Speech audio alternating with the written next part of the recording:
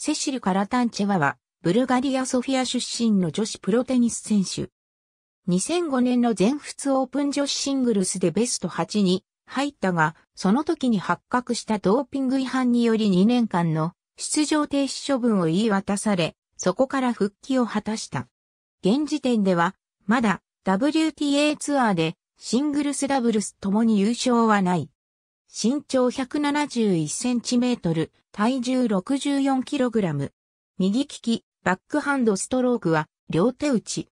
WTA ランキング最高位はシングルス35位、ダブルス154位。彼女の父親はボートのブルガリア国内チャンピオンで、ボートワールドカップで7着入賞の経歴を持つ人であり、母親はバレーボールのブルガリア国内チャンピオンであった。そのようなスポーツ一家に生まれたセシルは、父親の手ほどきで5歳からテニスを始めたが、最初はテニスに乗り気ではなかったという。14歳の時、著名なテニスコーチのニック・ボロテリーに才能を認められ、アメリカ・フロリダ州ブレーデントンにあるニック・ボロテリーテニスアカデミーで練習を始めた。2004年に初めて女子テニス国別対抗戦、フェドカップのブルガリア代表選手に抜擢される。同年の全米オープンで初めて4大大会の予選会を通過し、本戦1回戦で第9シードのスベトラーナ・クズネッツォワに敗れる。2004年のジャパンオープンで初来日し、アニコ・カプロスとの2回戦まで進出した。2005年の全仏オープンにて、セシル・カラタンチェワは、初めてのベスト8に進出した。1回戦のアリョーナ・ボンダレンコ戦から始まり、2回戦で日本の朝越忍を下すと、3回戦で第11シードのビーナス・ウィリアムズを6から3、1から6、6から1で破る主君を挙げた。続く4回戦も解消して、一気にエレーナ・リホフツェワとの準々決勝まで勝ち進む。29歳のベテラン選手には6から2、4から6、4から6の逆転で敗れた。ところが、この全仏オープンでの検査により、彼女が筋肉増強剤のナンドロンに陽性反応を起こしたことが発覚する。この検査結果に対しカラタンチェワは当初摂取していた栄養補助食品に禁止物質が含まれていたと答えていたが、その後当時妊娠しており、そのせいで禁止物質が分泌された。現在は流産していると別の主張を述べるようになる。この主張により妊娠検査も行われたが、その結果は陰性であった。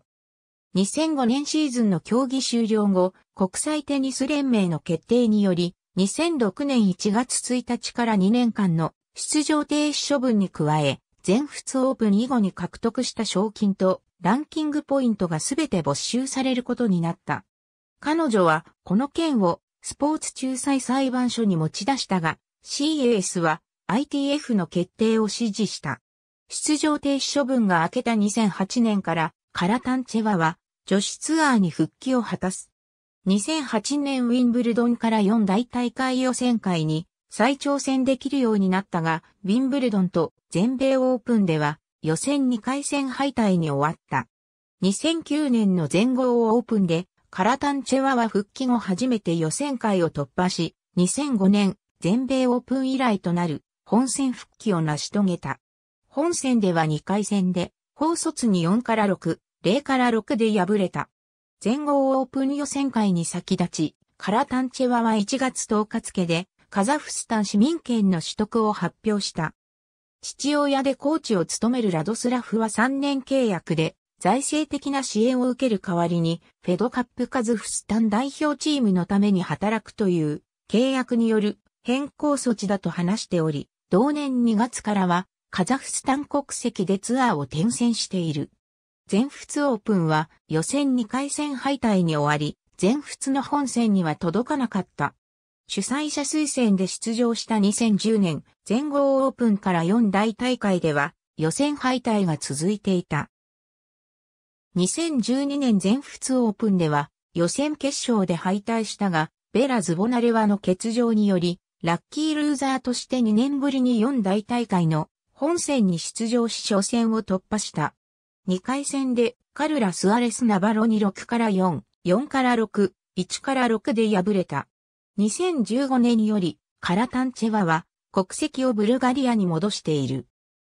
W イコール優勝、F イコール準優勝、SF イコールベスト4、QF イコールベスト8、R イコール回戦敗退、RR イコールラウン敗退、Q イコール予選回戦敗退、LQ イコール予選敗退、A イコール大会不参加、P イコール開催延期 WG イコールデビス、Z イコールデビス地域ゾーン、PO イコールデビス、G イコールオリンピック金メダル、S イコールオリンピック銀メダル、SF、B イコールオリンピック銅メダル、NMS イコールマスターズシリーズから降格、NH イコール開催なし。ありがとうございます。